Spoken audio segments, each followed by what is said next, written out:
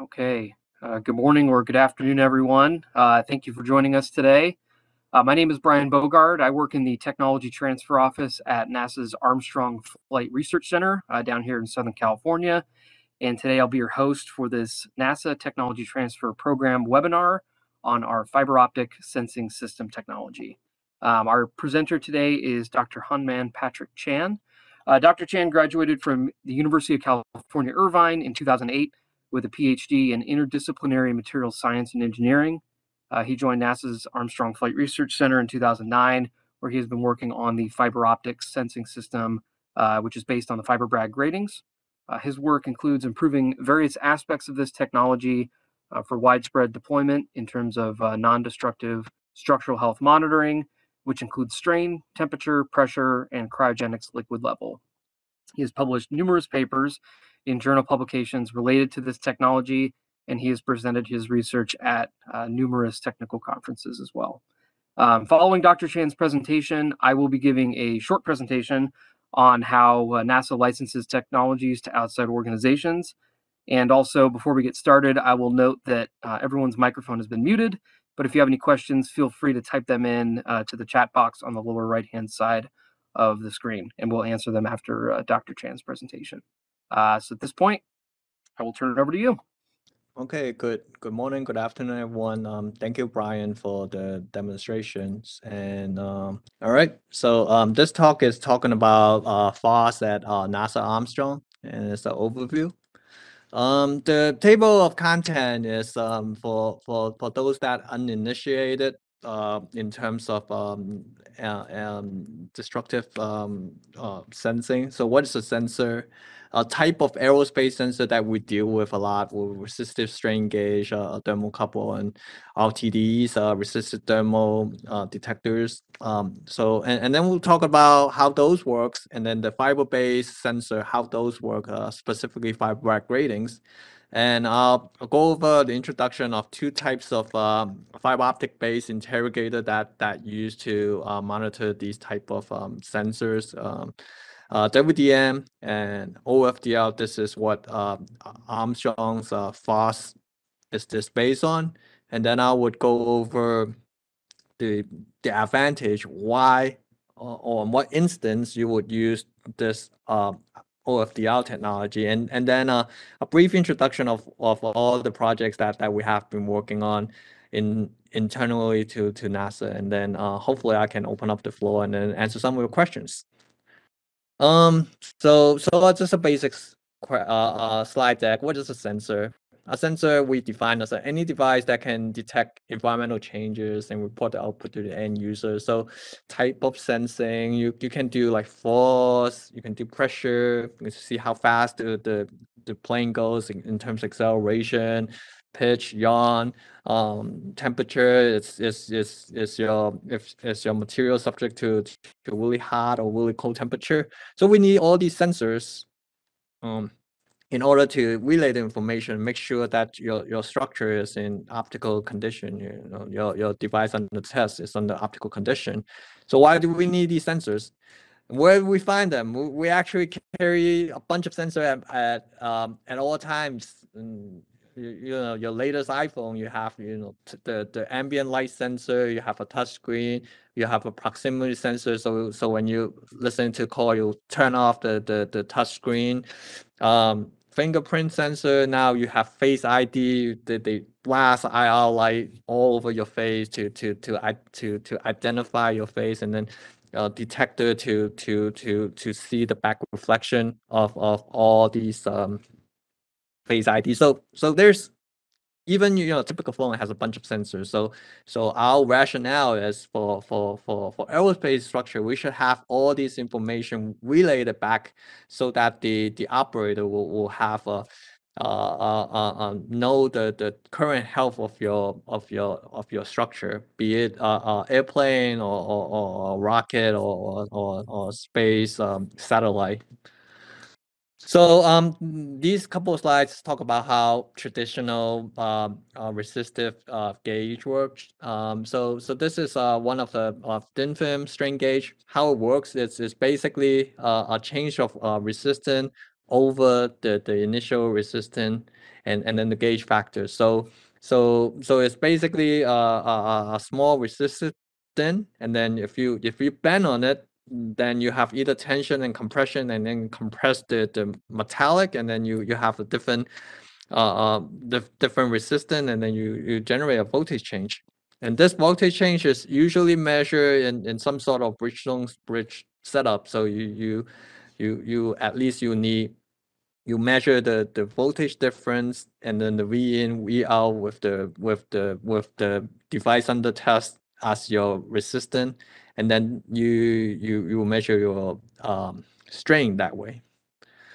And there is a various uh, precise strain gauge setup. These strain gauge has been has been used since the the, the 1940s. So so it's it's it's um, it's try and and true in aerospace environment.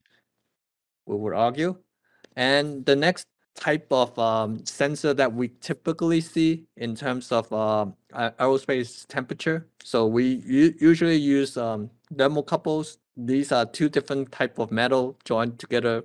Usually we see a type K thermocouple, and then they have these it, it, the two type of material joined together. Then you, you if you put a voltage difference there, that that you you create a pulsar effect, and then by by measuring the voltage potential difference, you would be able to to to to measure the temperature.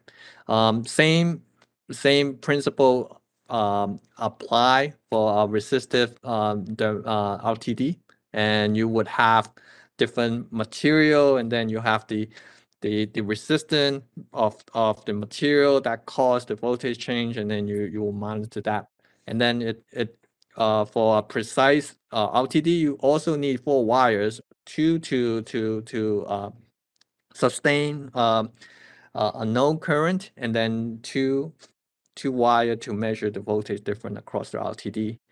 So so given all these bridge setup, you know, one sensor you at least you need four wires. So so this is kind of uh, and and then type of point sensor and the accuracy. So so thermocouple is two wire for um the accuracy for for under cryogenic structure is around plus or minus two degrees Kelvin and then our RTD is uh, uh, four wires prefer and um, plus or minus 1.3 Kelvin.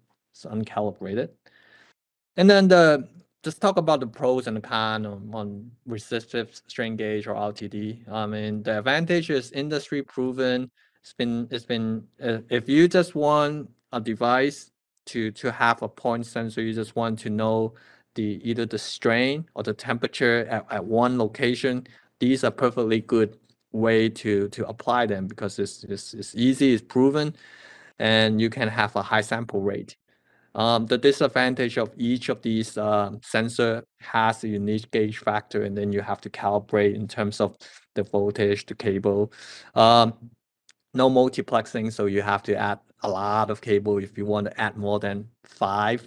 Then then, and in another cases, um, these these because these are based on a constant current, so it's accessible to EMI. If if you you have a you have an environment that would generate a lot of EMI, um, perhaps it's a electric airplane, then then then that these because you have bun, bundles of cable that would generate a lot of EMI, and um and installation time it takes it, it takes a long time for in for for a skilled technician to to to kind of apply these um, strain gauge onto the airfoil structure, and um, so so these are the pros and cons and current technology. And the next slide is kind of talk about the the difference between the the fiber optic system, fiber sensor versus traditional strain gauge, and and we like to say one of these things is not like the other. So um, so the first picture is showing um, we, we have a coupon here with uh, with uh, 21 type of strain gauges with the cable bundle. You can see the cable bundle, and then the the fiber optics with 628 Cowie um, uh, cascade um, fiber grating lay around the same section areas uh, within this coupon. So, So you can al already see that if you use a lot of strain gauge, it, it will become really heavy. And then the second one is if you want to do a rosette, which means that the strain gauge, you, you can buy these strain gauge with zero degrees, 45 degrees, and 9 degrees in order to, to measure the, the, the wing deflection. That is big. Now you have nine wires.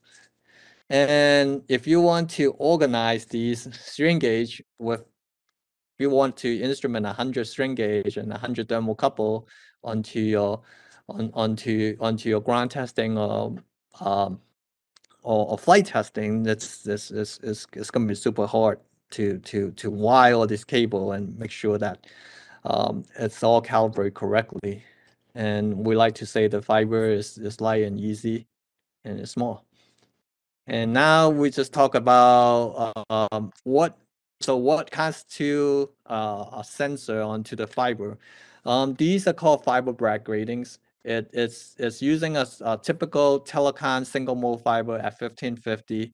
And we, we actually have method to, to write inside the, the, the glass to, to have an uh, index of reflection changes so that you have a, you, you, you have a, a periodicity of the core-refractive index of different um, index of refraction so that only one wavelength is being um, reflected. This wavelength you can you can think about as a constant frequency.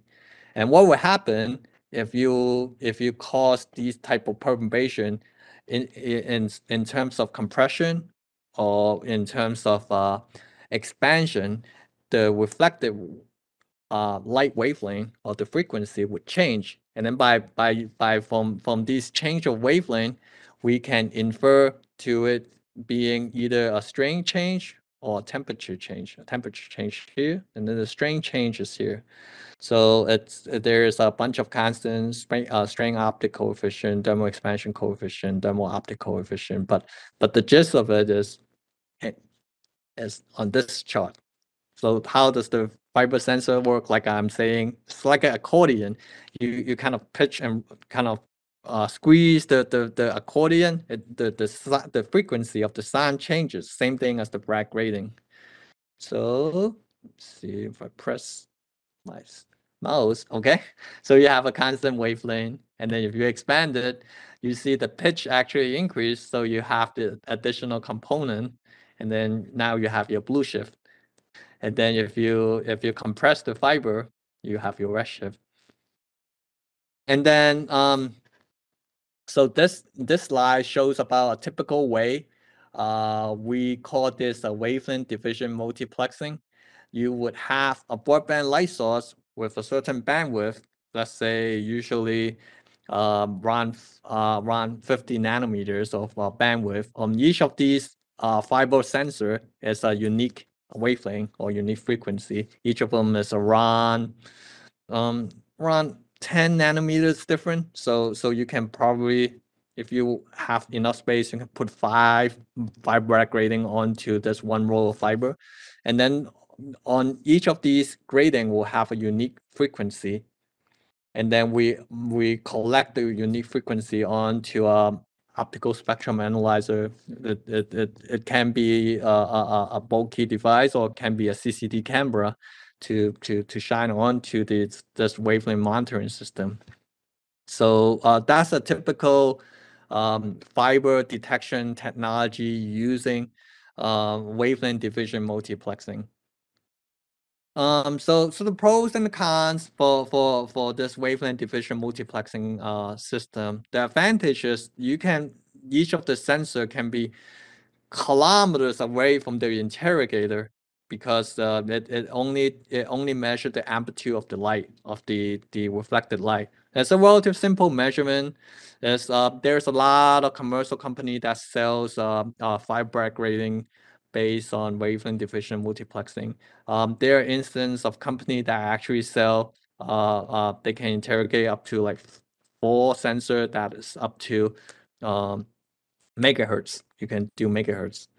Um, the disadvantage is that you you have to keep in mind each of where your fiber Bragg grating is relative to your structure. You have to kind of eyeball it because uh, you have to know where it is and then your sensor has a like i said has a unique wavelength so if you want to tell the manufacturer i want i want 50 sensor then then you only have that 50 nanometer of uh, bandwidth then then then then you have to keep in mind which which which frequency which uh, sensor now now this we we now go back to this aliasing effect if you have a lot of gratings, you don't have enough uh, bandwidth.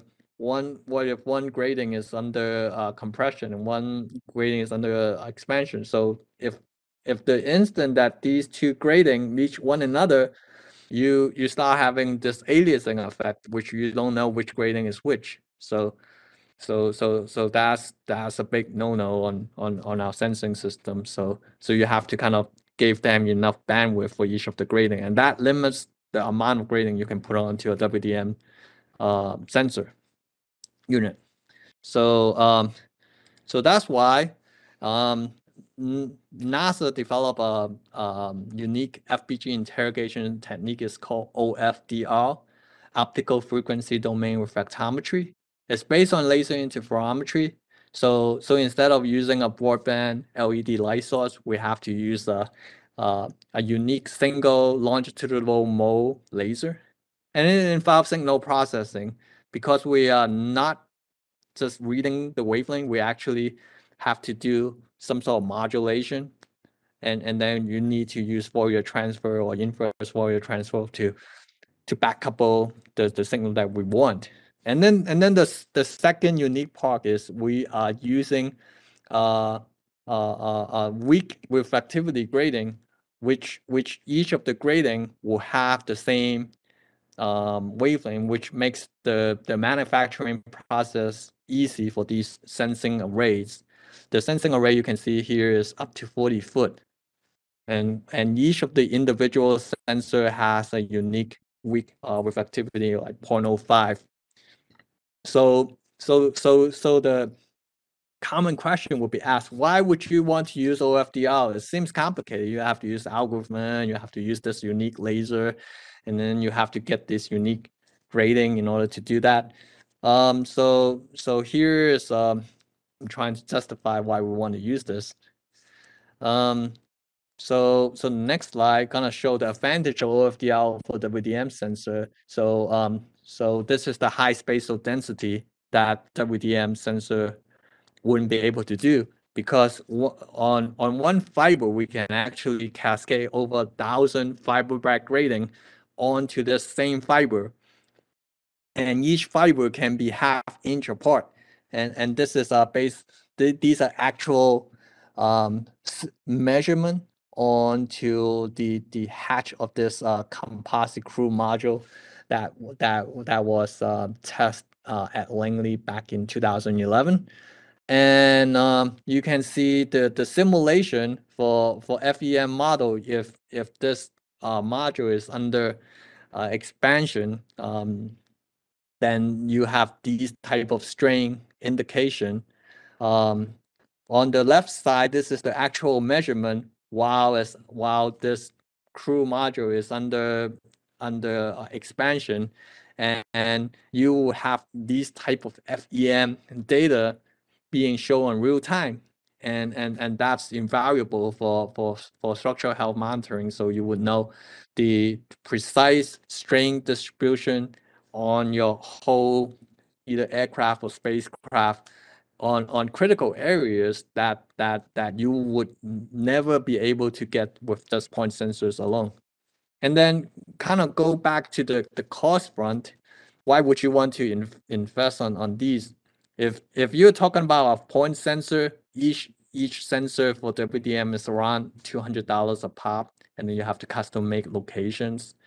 For for OFDR, we are looking at around less than a dollar per grating. If you want to, if you want to do like a meter's worth, it's, it's around 60 dollars. So so so the cost um, advantage pre sensor is, is, is actually um, kind of dramatic. And then uh, this is the this is the fundamental behind uh, OFDR. um, I mentioned that all these grating are written on the same wavelength. So how would how would the how would be able to figure out which grating we're looking at? And, and this is the, the principle because we're using uh, some sort of uh, modulation. We're, we're actually using interferometry in order to tell each of the grating. We, we tell each of the grating by the, the location where, whereas at at the uh, in interference front. So each of the unique grating, even though they have the same frequency, they they I mean same wavelength, they they are indicated by the the length difference relative to where your beat frequency, where your source light is. And uh, I know there's a lot of equation here, so um, let me try to simplify this. So um, the next simplification is a flow, flow chart. We have a tuning laser that tunes a certain wavelength, and then we perform this FFT, and then we do the inverse FFT, and then once we get that individual grating, we will look at the, the wavelength change, just like the WDM front, and then we will tell tell you the sensor. That still seems complicated, so so in layman's terms, it's, it's basically tuning your radio station. So a radio station, you have multiple frequencies broadcast onto the airwave. And then we have a radio that receive all these different frequency, you know, 80, 89.5 all the way to 100, 106.5. We receive all these frequency in between. And then we actually ask our tuner to just look at that one frequency and then we'll listen to the information. Same thing here, the OFDR. So we have a tuning laser light that tunes all the different, and each of these frequency is generated by the length difference from where we start uh, our measurement. And then we collect all, these, each of these sensor will have a unique sensor ID, and, and that determines the location of the sensor. And then and then our, our interrogator basically is, is, is the photo detector receive all these unique frequency. This is kind of like a inter, in, um, this is a, uh, interferometer. And then at the end, we use our algorithm. The simplest one is the FFT Fourier domain, and then the inverse Fourier domain to get that individual grating and then now we're going back to the wavelength domain, and then now we can use the, the WDM method of doing a wavelength change in order to tell us the, the strain or the temperature that we want to measure. So, um, so here then the theory part. Now just kind of show what what a typical OFDR um, based FOSS fiber optic sensing system works in NASA.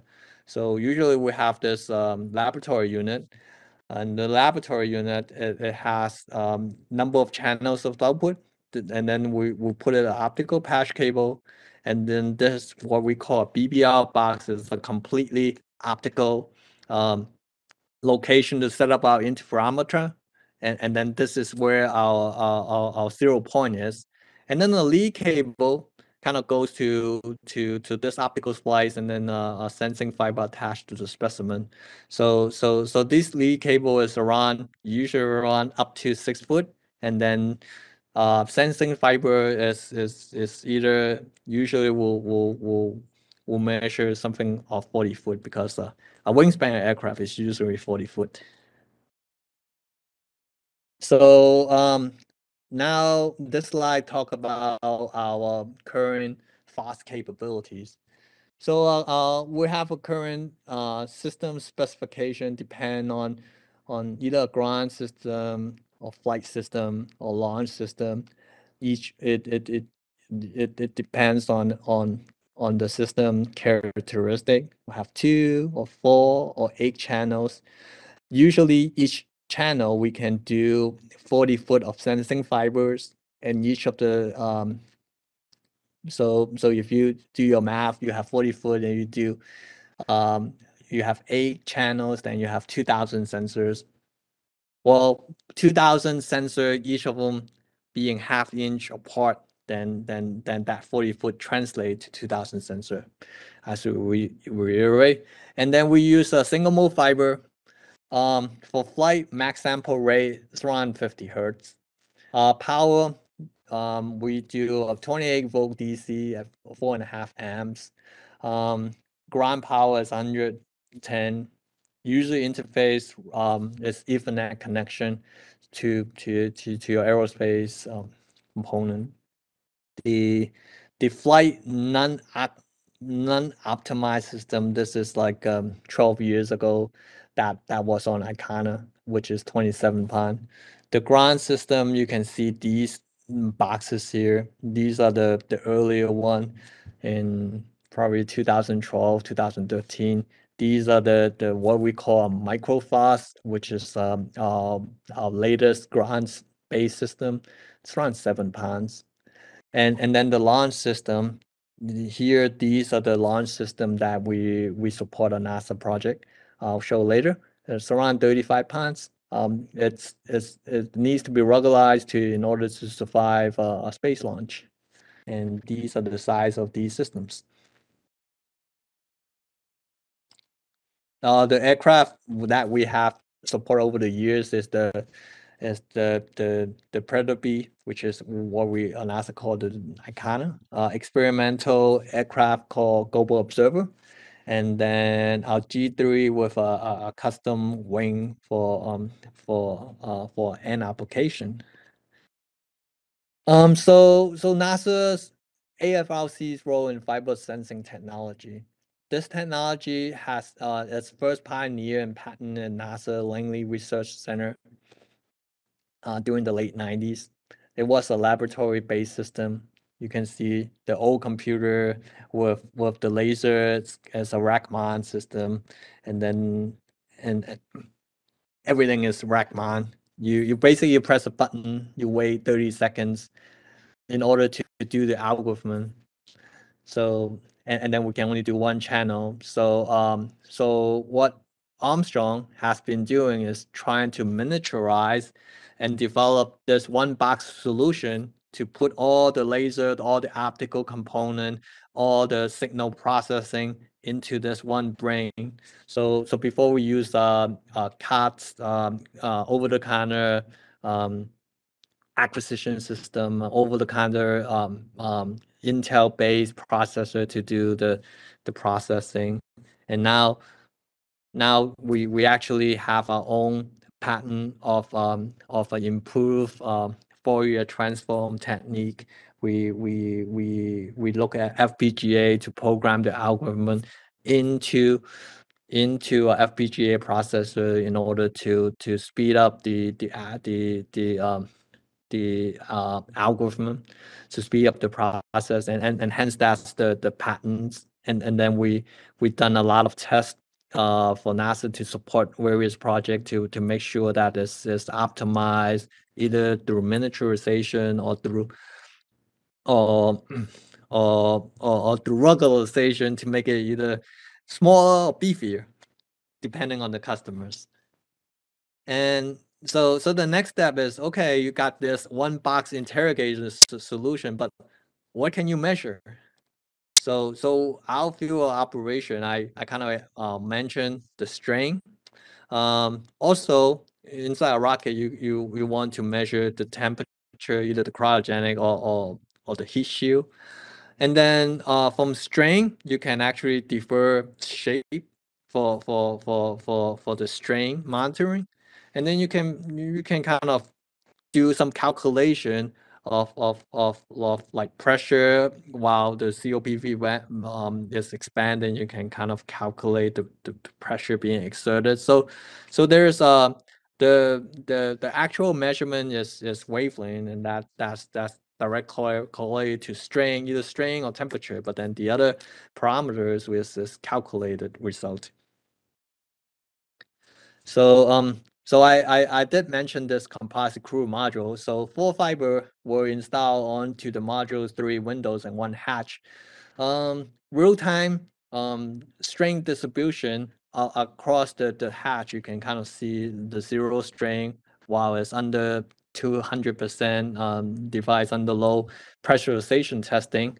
And the, the fiber measured data across the inner hatch under mass pressure, it's um, the, the fiber actually uh, measure the result it's um, um, closely related to the predicted result. So, so the, the project conclusion is that fiber optic real-time monitor test against analytical prediction was essential in the success of the full-scale test model.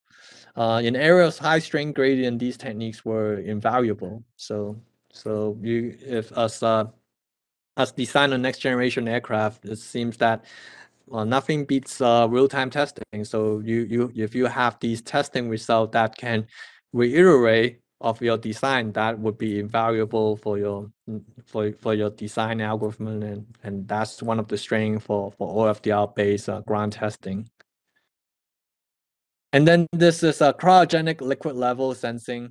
Um, so in terms of cryogen, the the fiber would be able to to to sustain measure uh, uh, um, cryogenic temperature and cryogenic liquid level. Uh, in terms of liquid level, we have a, a pattern um, talk about if you have um, usually on a steady state liquid on a cryogen, it's hard to distinguish between the Ullage level, uh, which is the gaseous phase, and the liquid that you you you want you, you have contained onto it, um, because the temperature is is on the Ullage is, is is really close to the liquid temperature, so it's it's by using temperature is kind of hard to measure.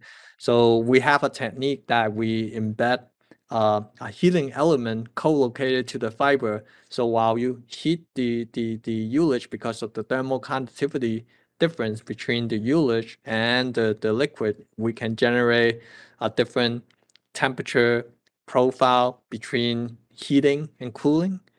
Uh, then we can we, we have this high spatial density of a half inch interval then we can measure the liquid level.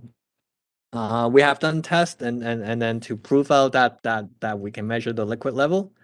And then um, um, the latest um, work that, that we have done is uh, we, we actually can do a passive sensor, which we uh, lay a, a, a PTFE sleeve onto the fiber. And at using that passive technique, we are able to measure temperature difference on the cryogenic liquid down to um, down to um, sub Kelvin scale plus or minus 0.75 um, Kelvin for so so we can use that also to measure um, liquid level or, or temperature across the tank. Um, so so these are example of flight validation and also uh, example of 2D shape sensing on our Ikhana. Um, Ikhana was um, Predator B aircraft where we put uh, strain gauges and fiber strain gauge and and and normal uh, eight uh, 16 um, resistive strain gauges for um, sensor validation. Um, see, trying to speed this up. So basically, um, we can install the fiber. What happens is we have this wing, and then we we kind of uh, scrape off the paint, and then we put the fiber onto on onto the wing skin, and then we we we we have epoxy to to the same type of epoxy that you put on on your resistive strain gauge, and then we paint over, and then we put epoxy over, make sure that the the the, the fiber is robust enough. Um, and um, so we did that. We did the strain. It did, the Ikhana test. Um, it, it flew, and and we, we have good result. So so here's the co-locating strain gauges, and here's the the so you have one, two, three, four, five, six, seven, eight, eight strain gauge data, and now you have these so many different mm, data onto the fiber in terms of strain, and and we will ask how come there's kind of these spot that's that's kind of high and these spot kind of lowest we we can actually see where the spars is, is located across the wing of the aircraft so you you have this higher level of, of strain distribution that that you you you can never get for for point sensor so so that's also invaluable and and because we have these so much data now we can do algorithm to do 2D shape sensing. So this is a structural strain because we know the structure of the Ikhana aircraft. We can know the that we can actually measure this wingtip deflection. You can see that these are the strain data. And then from the strain data, you you know the geometry of the aircraft. Now you can you you you can calculate the, the wing shape deflection while the, the pilot is doing uh, different turns onto aircraft, then you can you can see this deflection in terms of inches of while the, the wing is bending. So this is another pattern that we have in terms of 2D shape. And because of time, we have other um, NASA related front, but but this is one of the um, stuff that we work on and we're so proud of our team. As uh, this is the FOSS project, we are part of the LOFTID uh, low Earth orbit flight test of an inflatable decelerator. So um, this is the launch version of the FOSS that we have been developed um, over the last five years, and it's in the the system is integrated into the FOSS um, into LOFTID to monitor the nose cone temperature during the reentry. And we we did all the, the, the, the, environmental testing. We, we we did the EMI, we did the burn-in, we did the thermal vacuum testing, we did the, the shock testing and make sure that it's up to snuff for a rocket launch and, and a reentry. And we lo and behold, this this this project launched on um, last month and, and here's a short video kind of talking about the result of this launch. Live from the central coast of California, this is NASA's JPSS-2 and LOFTID, which will demonstrate a new type of heat shield that inflates for atmospheric reentry.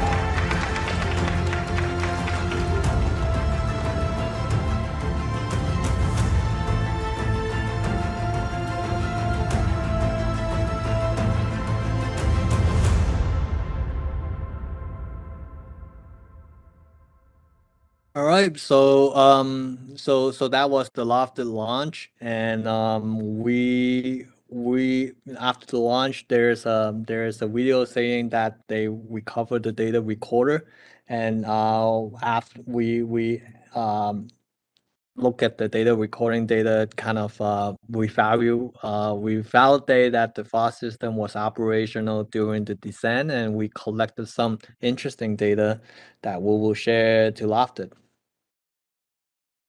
and and and basically it it uh, it it, it represent that the FOSS system were able to to withstand a rocket launch and and was operational during the the reentry phase and the the temperature data um, collected was uh, was interesting to say the least. Live. All right. In summary, so NASA has successfully deployed FOSS uh, laboratory and real world application and um, commerce commercialization technology is ongoing via NASA tech transfer. Um, there's you know aerospace, there might be energy sector, there might be biomedical application. There's a lot of um, different application beyond uh, what NASA is doing, and that's what NASA is good at. We we we we're good at developing technology for for the space or aerospace, and then tech transfer will take over, and then translate the technology into um, everyday life. So um, with that, I um, appreciate your attention and thank you for um, listening to my talk.